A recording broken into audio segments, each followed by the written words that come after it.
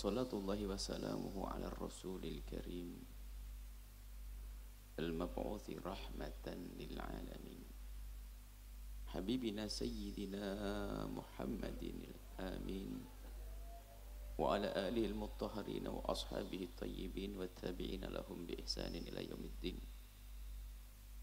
اللهم يا ربنا إنا نسألك محبة حبيبك سيدنا محمد. أعنا يا ربنا على اتباع سنته وأمتنا يا ربنا على ملته واحشرنا يوم القيامة مع زمرته وتحت لوائه. اللهم يا ربنا اجعلنا من المتحابين فيك ومن المتجالسين فيك. من المتزاورين فيك ومن المتباذلين فيك. إنك أنت على كل شيء قدير. ارزقنا يا ربنا التوبة قبل الموت والشهادة عند الموت والجنة بعد الموت. أما بعد. Yang sangat kami cintai kami muliakan. Para pecinta dan hamba yang memuliakan baginda Nabi Muhammad sallallahu alaihi wasallam. Dan hanya merekalah yang layak untuk dicinta. Dan merekalah yang layak dimuliakan, yaitu mereka-mereka yang mencintai baginda Nabi dan memuliakan baginda Nabi. Jika anda ingin menjadi orang yang layak dicintai, maka cintailah kekasihmu Nabi kekasih Allah Nabi Muhammad. Jika anda ingin mulia, maka muliakan Nabi Muhammad. Dan majlis ini adalah majlis agar kita menjadi mulia. Karena di majlis inilah kita mengukuhkan kembali, menguatkan kembali kecintaan kita kepada baginda Nabi dan majlis ini adalah majlis untuk memuliakan dan mengagungkan baginda Nabi Muhammad sallallahu alaihi wasallam. Nabi Muhammad adalah nabinya semua model model manusia. Nabi Muhammad adalah nabinya orang fakir. Seperti Abu Hurairah Nabi Muhammad juga nabinya orang yang kaya raya seperti Abdurrahman bin Auf.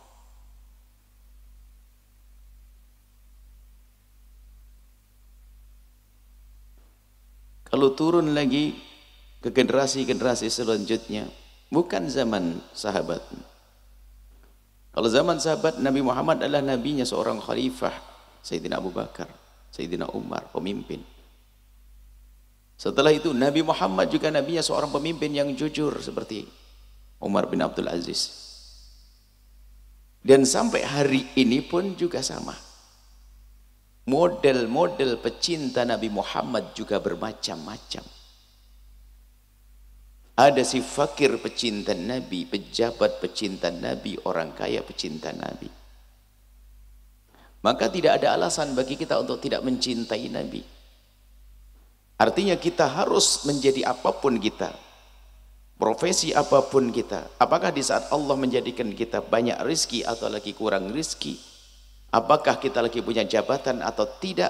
Maka ketahuilah kita harus belajar mencintai Nabi Muhammad wasallam dan semua ada contohnya. Kalau Abdurrahman bin Auf adalah orang yang diberi oleh Allah kemudahan dalam urusan rizkinya maka ia tampakkan kecintaan kepada Nabi Muhammad dengan hartanya. Ia adalah beliau adalah seorang hamba yang begitu gemar berderma.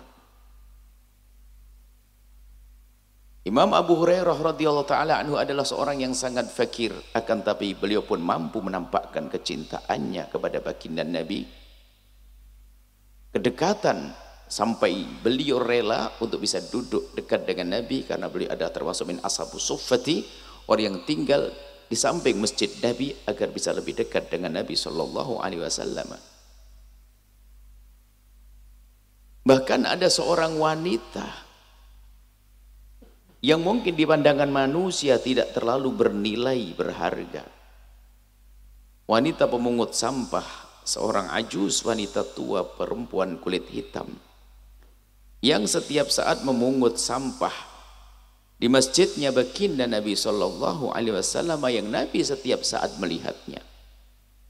Hingga pada suatu ketika ia wanita tersebut tidak lagi terlihat di tempat tersebut tidak seperti biasanya. Nabi tidak melihat lagi. Setelah beberapa hari baru Nabi sadar. Kemudian Nabi bertanya, wahai para sahabatku, di mana wanita yang biasa memungut sampah di tempat ini? Para sahabat Nabi menjawab bahwasanya ya Rasulullah, wanita itu telah meninggal dunia. Di saat mendengar berita seperti itu, baginda Nabi terkejut, terkaget dan berkata, seorang wanita tua pemungut seorang wanita meninggal dunia dan kau tidak beri aku kabar hanya karena dia wanita tua pemungut sampah maksudnya teguran kau tidak beritahu aku tentang kematiannya hanya karena ada seorang perempuan tua pemungut sampah? Antarkan aku ke kuburnya saat ini. Kemudian Nabi diantarkan ke kubur wanita tersebut lalu Nabi melakukan sholat di atas kuburnya.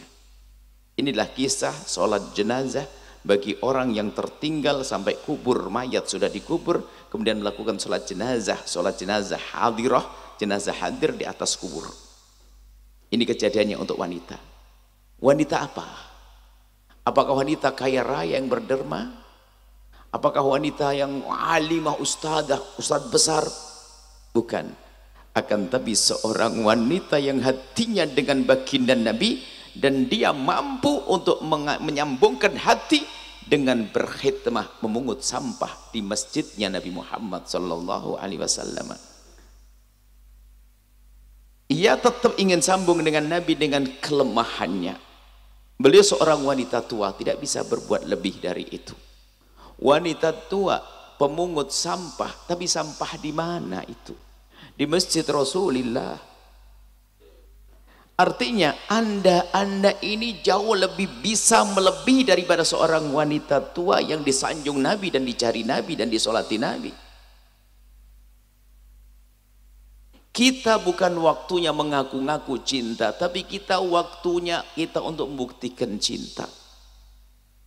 Cinta kepada Nabi perlu bukti.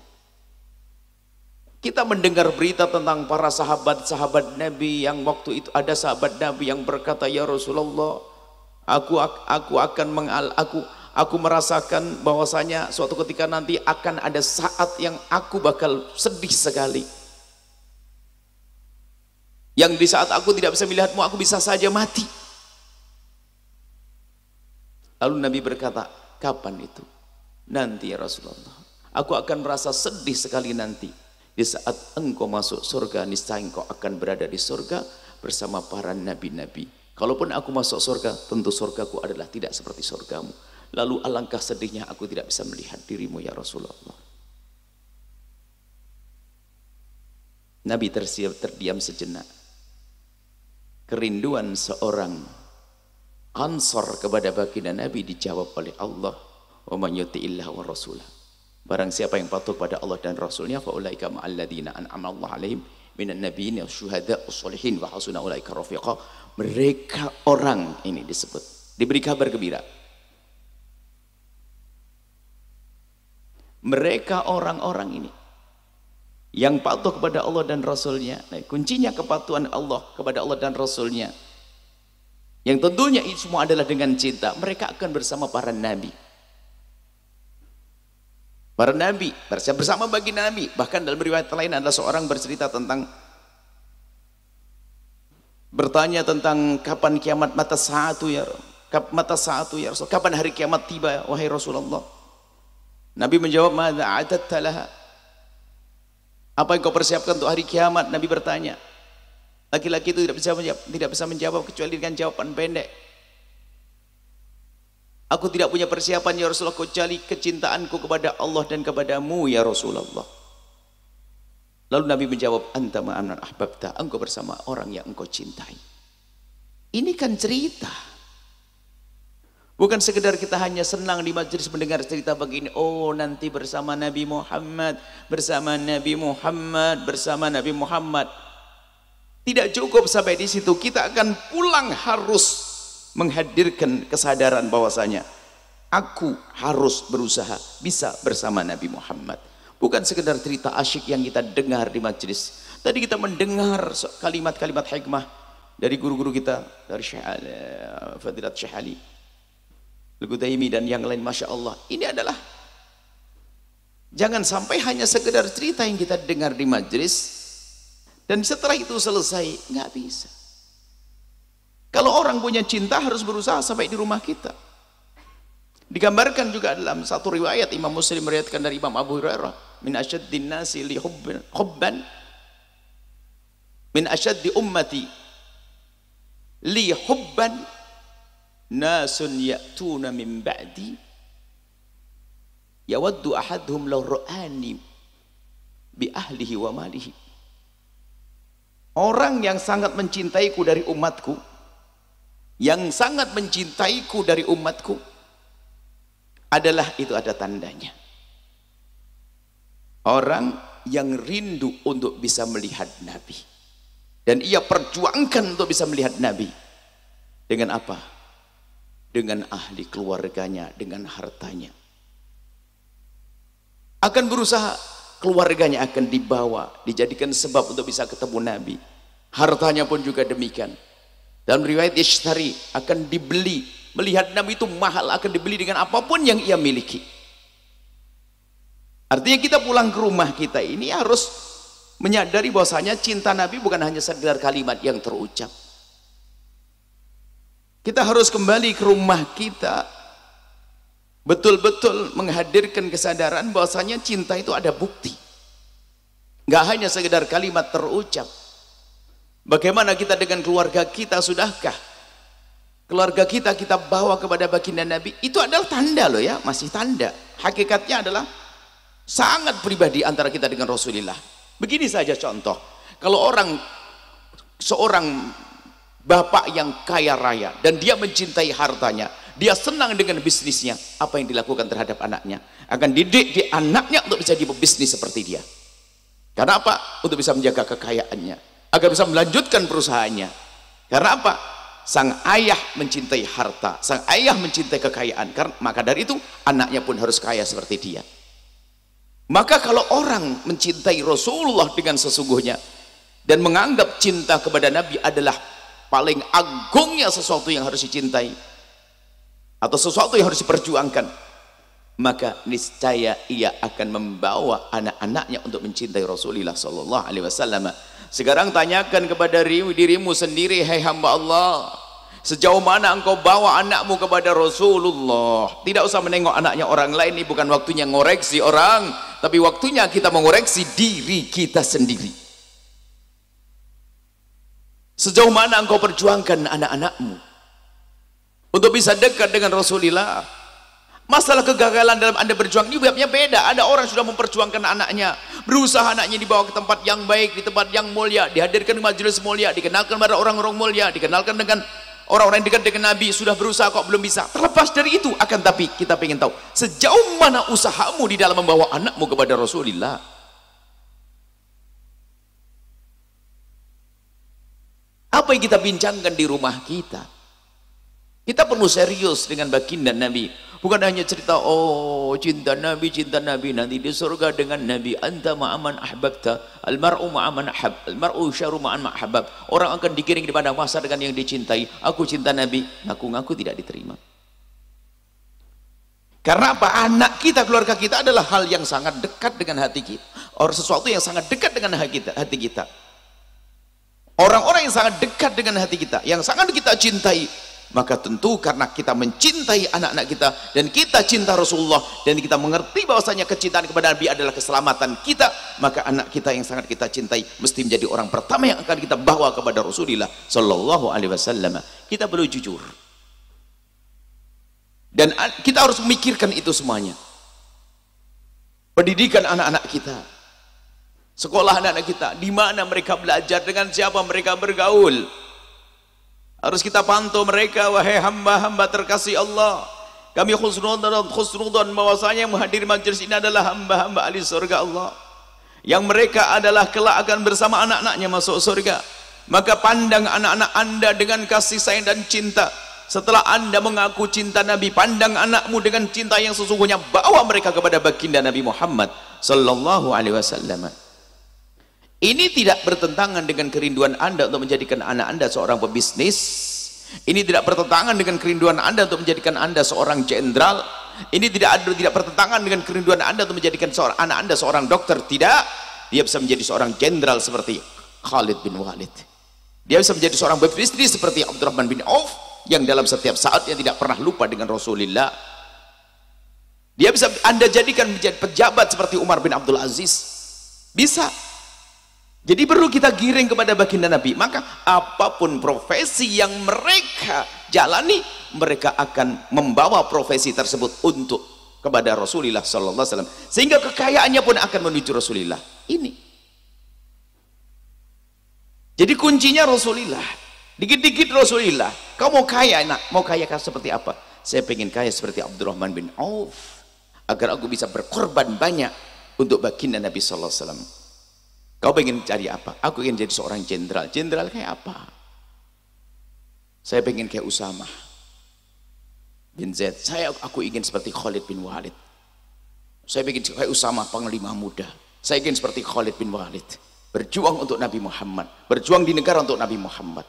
Saya ingin, nah, begitu harus ada di hatinya kerinduan untuk menjadi orang-orang yang dicintai oleh Rasulullah dan mencintai Nabi Muhammad sallallahu alaihi wasallam. Kita perlu serius. Bukan hanya sekedar ngaku cinta, ngaku cinta dan keluarga kita. Harta kita pun juga harus kita bawa sebisa mungkin.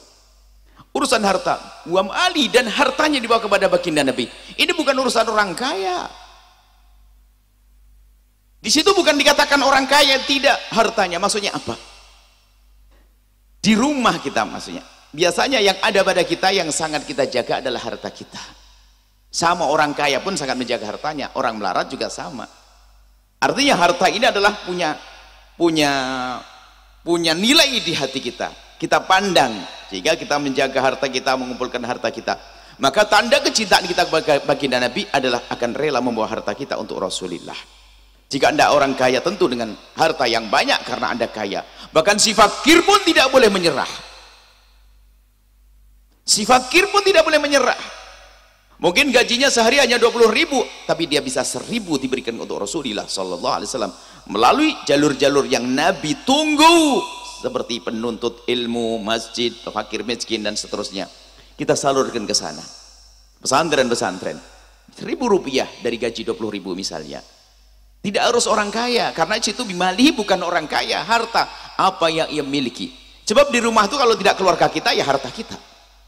Selebihnya tidak ada, yaitu jadi jangan sampai ada di antara kita yang menyerah, oh aku nggak bisa, aku nggak mampu dekat dengan Nabi, karena aku nggak bukan orang kaya nggak bisa berderma, aku bukan orang alim, aku nggak bisa jabatan, aku nggak ada. Jangan menyerah dengan kekurangan kita. Jadilah anda seperti si pincang ahli sorga, orang pincang ahli sorga yang datang kepada baginda Nabi di saat Nabi menyeru untuk berperang Pemuda-pemuda diseru untuk berperang karena saat itu perlu pasukan-pasukan muda yang kuat. Lalu di antara yang datang dari anak-anak muda adalah satu anak muda yang kebetulan kakinya pincang. Nabi Ar-Ra'uf Rahim, Nabi yang penuh kasih dan penuh cinta itu di saat melihat seorang anak muda yang kakinya pincang, Nabi tersenyum dan penuh kasih memandangnya. Lalu Nabi berkata, kau tidak wajib perang Kau nggak usah perang, nggak sudah gugur kewajibanmu untuk perang.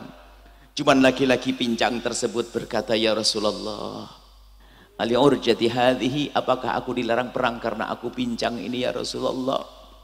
dijawab oleh Nabi ya Allah maha kasih kemurahan kamu tidak usah perang karena kau bincang Rupanya laki-laki tidak terima ya Rasulullah la atau annal jannata bi'urjati hadhihi. Ya Rasulullah izinkan aku perang. Sungguh aku ingin menginjakkan surga dengan kepincanganku ini ya Rasulullah. Jangan ada yang menyerang untuk dekat dengan Nabi. Jangan sampai mengatakan aku fakir di dunia fakir di akhirat. Aku bodoh di dunia di akhirat pun juga ternyata gelap jalannya nggak kelihatan siratul mustaqim lalu kecebur ke neraka jahanam. Tidak. Kita semuanya bisa. Nabi adalah nabinya orang kaya orang melarat pejabat rakyat si alem bodoh bisa mendekat kepada baginda Nabi Shallallahu Alaihi Wasallam maka ini yang perlu kita hadirkan kesadaran ini. Maka pulanglah ke rumah masing-masing untuk melihat apa yang ada di rumah kita, anak-anak kita, saudara kita, keluarga kita. Termasuk pembantu di rumahmu adalah bagian daripada keluargamu karena ia hidup bersamamu. Jangan sampai anda biarkan dia tidak menjalankan syariat Nabi Muhammad wasallam. Tanggung jawab kullukum ra'in wa kullukum mas'ulun an ra'iyatihi. Semua punya tanggung jawab. Semua yang ada di bawah naungannya akan ditanya dan niatkan di saat menggiring mereka kepada ibadah kepada kebaikan niatkan untuk menggiring mereka kepada Rasulullah sallallahu alaihi wasallam. Dan di saat Anda menggiring mereka kepada Rasulullah itu sebetulnya tanda cinta Anda kepada Rasulullah sallallahu alaihi wasallam. Ini harus kita hadirkan. Semua ayo berusaha. Bukan sekedar mengaku-ngaku selama ini kita sering mengaku-ngaku cinta kepada Nabi tapi ternyata apa? Tidak dengan cinta yang sesungguhnya. Itu otomatis yang mencintai Nabi lihat. Mencintai Nabi ada bukti yang sangat pribadi yaitu ibadah-ibadah. Itu sangat pribadi dan sangat sedikit. Akan tapi ternyata yang perlu kita upayakan lebih dari itu semuanya adalah mencintai Nabi dengan bukti adalah kita peduli dengan umat Nabi Muhammad sallallahu alaihi wasallam.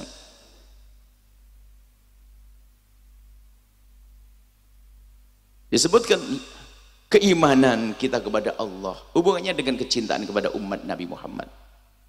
La yu'minu adukum hatta yuhibba li akhi ma yuhibbu li nafsi.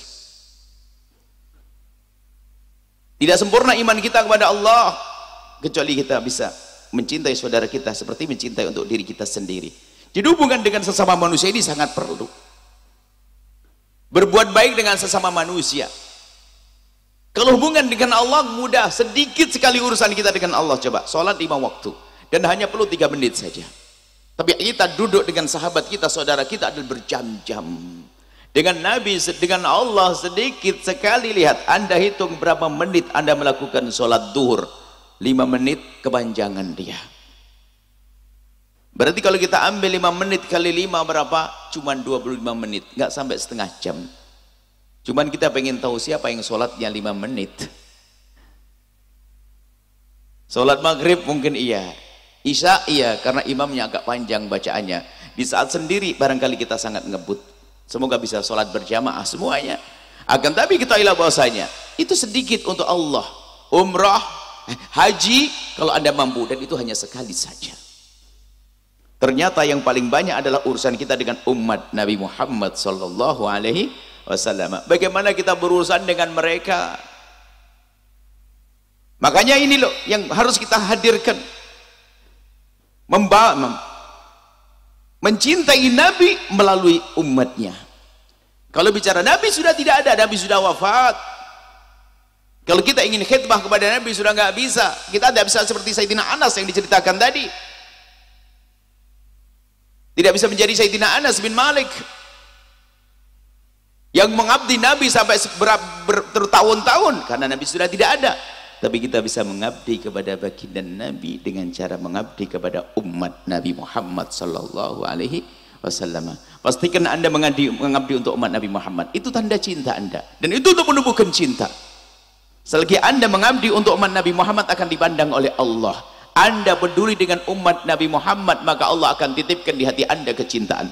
Sehingga para ulama menyebutkan agar engkau bisa mencintai Nabi dengan sesungguhnya adalah di samping anda membaca solawat dan yang lainnya maka ketahuilah rajin-rajinlah senanglah engkau berkhidmah membantu umat Nabi Muhammad untuk dekat kepada Allah dan Rasulnya maka Allah akan berikan kepada hatimu kecintaan. Makanya orang yang suka ganggu umat Nabi Muhammad itu lama-lama hilang cintanya kepada Rasulullah yang membuat keonaran menjauhkan umat dari Nabi Muhammad yang menjauhkan umat dari Allah dan Rasulnya. Yang membuat ini adalah menjadi kalau dia menjadi menjauhkan umat Nabi Muhammad dari Nabi Muhammad maka dia sendiri akan jauh dari Nabi Muhammad. Maka semakin kita mendekatkan umat kepada Nabi Muhammad maka Allah akan titipkan di hati kita kecintaan kepada Nabi Muhammad yang sesungguhnya.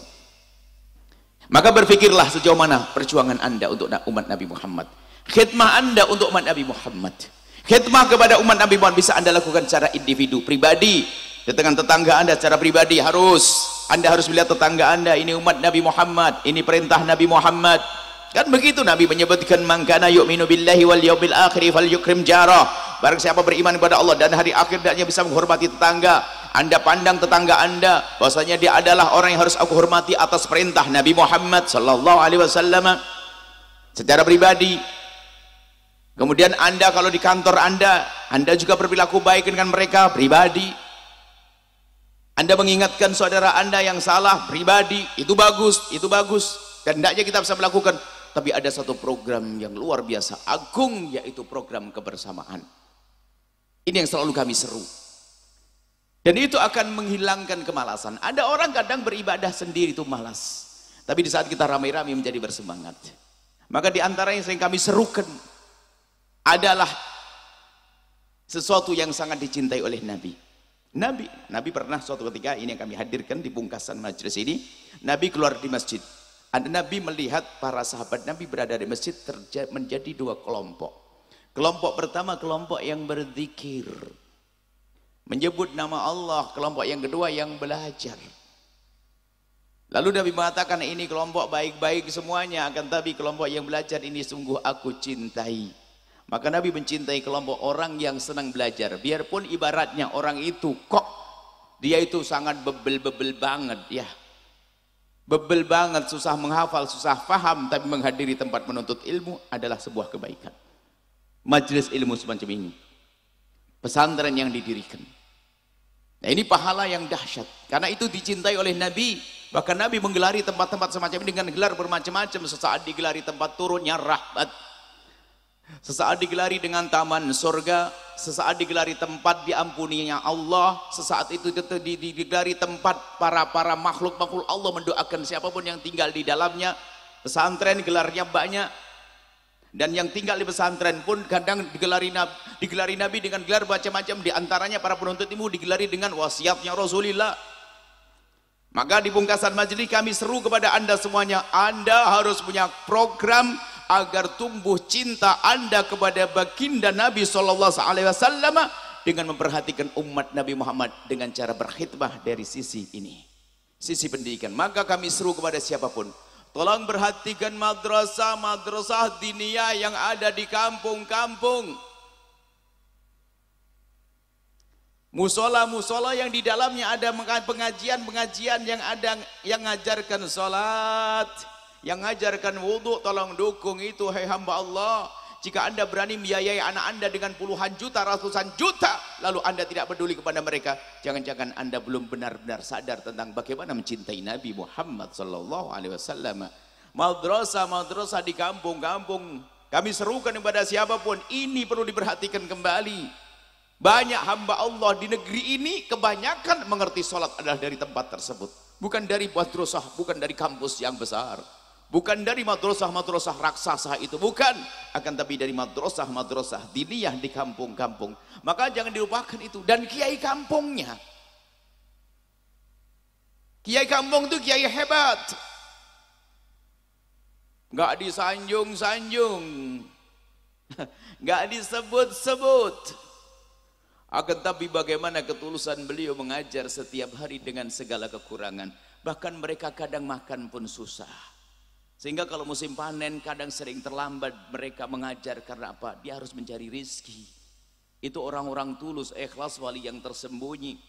Makanya kami himbau kepada siapa pun yang kembali ke kampung masing-masing, ke wilayah masing-masing, ke RT masing-masing, tolong semuanya fokus memperhatikan tempat-tempat semacam itu. Jika itu madrasah ini Anda perhatikan mulai dari toiletnya harus terhormat, anak gadis, anak-anak perempuan sendiri wudhunya teraman, toiletnya dikunci, yang bisa tertutup auratnya. Kemudian kalau tempatnya sempit pengaji tempat pengajinya sempit tempat belajar sempit yuk kita lebarkan. Ustadz ustadznya ayo kita perhatikan. Jangan gampang terkagum dengan ustadz ustadz yang anda lihat mungkin di televisi tersohor dan sebagainya. Anda menghormati mereka lalu anda tidak menghormati kiai kampung anda. Anda tertipu karena kiai kampung anda yang lebih sibuk ngurusi anda siapa yang ngurusi kakek anda waktu meninggal kiai terkenal itu atau kiai kampungmu hei faham hai hamba Allah Jangan gampang terpesona dengan yang di sana tapi lalu merendahkan kiai kampungnya. Tidak akan beruntung orang-orang seperti itu. Ayo mbahmu meninggal siapa yang ngurusi? Yang ngajari anakmu sholat siapa sebelum anda hantarkan ke pondok-pondok besar itu? Siapa yang ngajari sholat? Siapa yang ngajari alif bakta? Siapa yang ngajari baca Al-Quran? Orang yang paling alim hari ini berangkat dari madrasah diniyah. Agar tapi hari ini madrasah diniyah dilupakan. Madrasah diniyah maksudnya madrasah di kampung-kampung itu. Kita perlu kembali memperhatikan tempat-tempat tersebut. Yang ngajar luar biasa orang-orang ikhlas. Orang-orang ikhlas. Kadang hanya dikasih sabun. Kadang dikasih duit 100 ribu diciumi bukan karena cinta dunia. Karena ini menghargai. Ini adalah pemberian, ini adalah barang ber, ini berkah. Kembalilah kepada ini dan jangan diremehkan mereka. Hati-hati. Makanya biasanya biasanya orang-orang yang sering duduk sama ustadz terkenal apalagi sering foto-foto itu biasanya gampang meremehkan ustadz kampungnya. Ah, bahaya ini. Hati-hati. Muntong wah, dipikir kalau sudah foto sama kiai terkenal, ustadz terkenal langsung wah melambung begitu. Sehingga sama kiat kamu tidak perhatian. Eh, tidak beruntung orang semacam itu. Dan sengaja kami serukan ini. Karena kami melihat banyak orang semacam itu. Apalagi yang punya koneksi, wah kenal ustadz terkenal, ustadz terkenal, ustadz terkenal. Sama ustadz kampungnya tidak peduli. Dia tidak beruntung. Yang capek beliau-beliau ustadz kampung. Orangnya ikhlas. Orangnya tulus. Tidak dikasih uang. Dia hanya mengharap ridho Allah. Tahajudnya hebat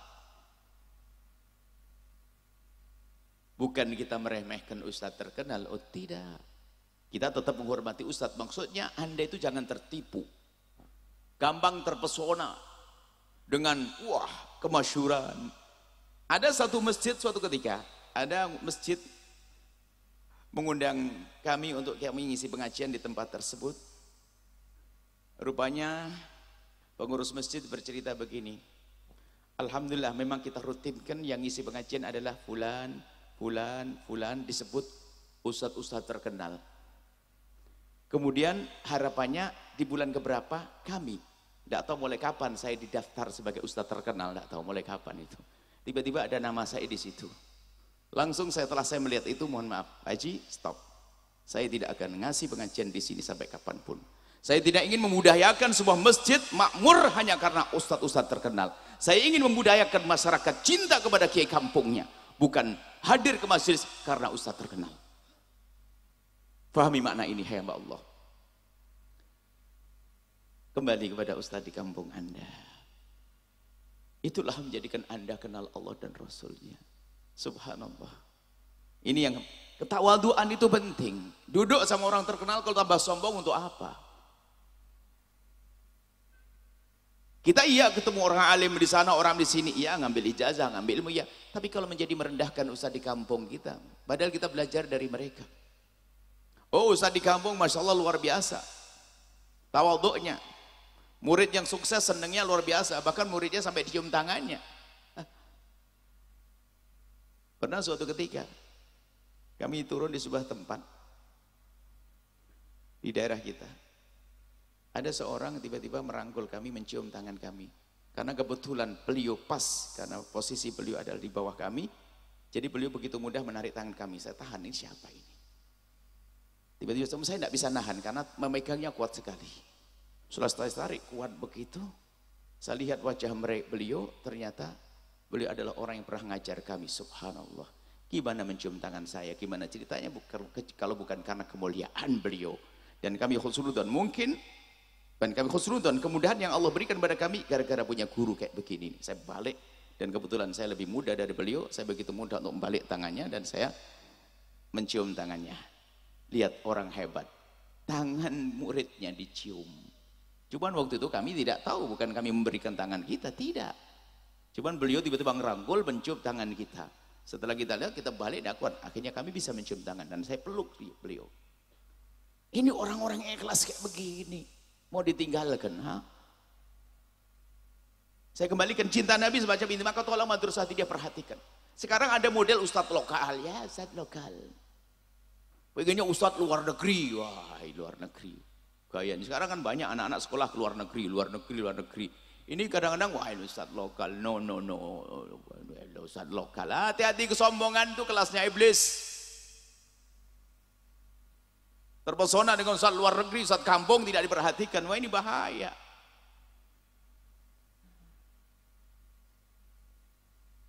So, ini, ini, ini, ini, ini yang harus kami sampaikan kepada para astad serukan ini semuanya. Sebab di masyarakat sudah budaya begini saya budaya gebiar glamor. Sampai ustadz itu kalau sudah terkenal kan sudah dijajar kayak kelas artis selebritis jadi sebenarnya gebiarnya yang dirindukan bukan kerinduannya kepada Allah ini suatu ketika pernah di satu tempat. Kami memasuk satu tempat kayak begini nih cuman di belakang panggung ini rumah. Sehingga kami mampir diampirkan ke rumahnya dulu di belakang di belakang panggung. Kebiasaan kami adalah Pak Haji kalau sudah waktunya langsung aja pengajian jangan ditunda. Sebentar Bu ya nunggu kiai. Kiai mana kiai sini? Oh bangga karena orang yang masih menghargai kiainya berarti ini berkah semuanya. Akhirnya kami menunggu di tempat tersebut. Sambil makan apa ya kacang camilan ada begitu. Tiba-tiba tidak lama kemudian diajak Buya naik panggung. Loh mana ustadznya tadi? Itu tadi. Rupanya ustadznya sudah datang setelah setelah setelah beliau setelah mereka mengatakan nanti nunggu ustadz. Tidak lama kemudian ustadz memang datang. Cuman saya tidak tahu Buya tidak tahu kalau itu ustadz kami sangat lihat betul. Kami tahu betul kedatangan beliau. Adalah pakai sepeda motor. Kemudian beliau turun ke sorot lampu begini sambil membungkuk mengambil kopiah hitamnya yang ada di dalam jasnya, jaketnya, jaketnya dibuka pakai kopiah dan jalan pun jalannya pun bungkuk-bungkuk menunjukkan kalau itu orang tawaduk benar. Gayanya begini kemudian salaman kepada kami biasa saja kami tidak mengerti kalau itu ustadz dan mereka tidak ngasih tahu saya. Dan mereka tidak menyambut ustadz yang seperti menyambut kami di mimbar kami berubah kisah kami ingatkan, kami datang, kami ketemu Anda hanya sekali sekarang. Dan setelah ini belum tentu Anda ketemu saya. Tapi bagaimana Anda dari pintu depan Anda menghormati saya. Tapi guru Anda yang mengajari Anda setiap malam tidak Anda hormati, Anda tidak beruntung kalau tidak tobat. Saya tidak bangga kalau Anda menghormat saya, tapi Anda tidak menghormati kiai kampung Anda. Ini problem yang sibuk di saat Anda punya masalah ini kiai kampung Anda, Ustaz kampung Anda. Maka ini yang harus kami serukan saya kembalikan. Cinta Nabi melalui inilah. Madrasah ini yang di kampung-kampung hidupkan khidmah Anda untuk umat Nabi Muhammad. Tolong sisihkan rezeki Anda. Sebanyak-banyaknya kalau bisa. Madrasah ini semakin makmur semuanya.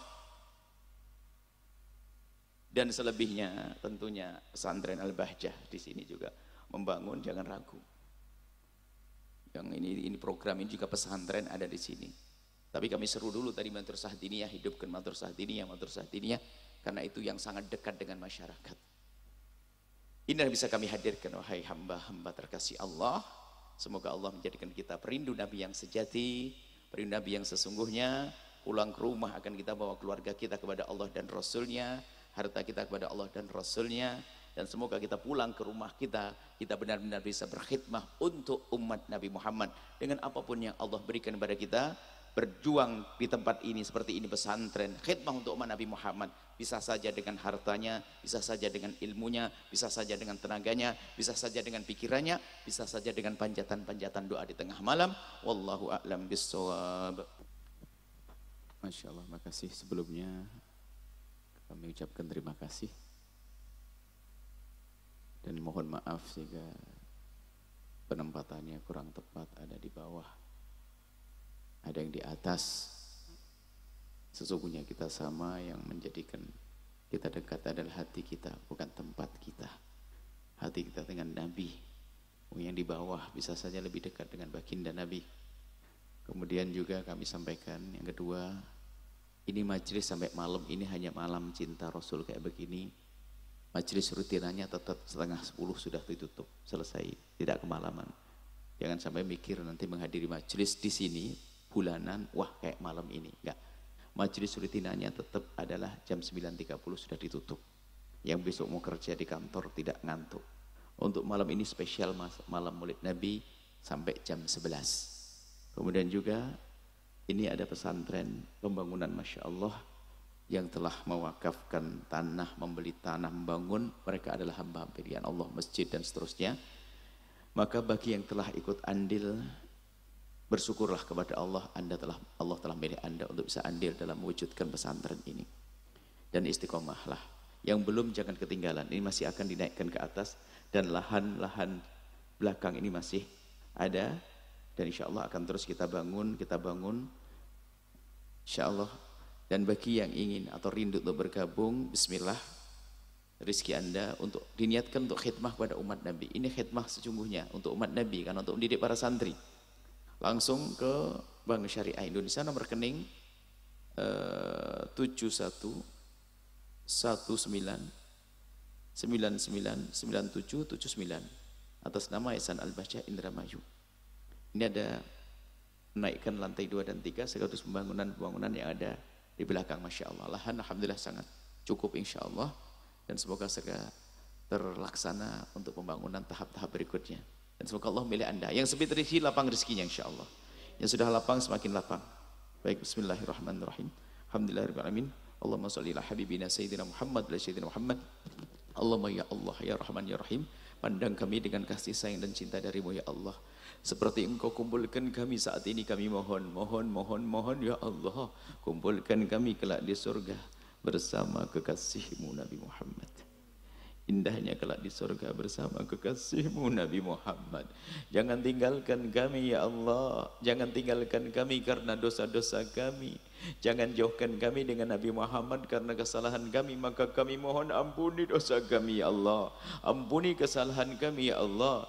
Dan kami mohon ya Allah, ya Allah mudahkan kami untuk mengikuti sunnah kekasihmu Nabi Muhammad. Tambahkan kecintaan kami kepada kekasihmu Nabi Muhammad. Dan jadikan hidup kami hidup yang meniru kekasihmu Nabi Muhammad.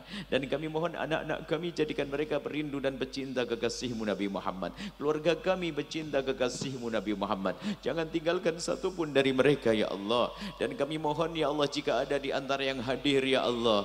Mempunyai anak atau sanak kerabat keluarga yang yang jauh dari kemuliaan, jauh dari bimbingan kekasihmu Nabi Muhammad. Kami mohon berkat kehadiran mereka ini, jadikan anak-anak itu, saudara-saudara itulah menjadi kembali kepada jalan yang koridor ya Allah. Ya Allah, ya Allah, ya Allah. Yang sempit rezeki lapangkan rezeki mereka dengan rezeki yang halal untuk berjuang bersama kekasihmu Nabi Muhammad.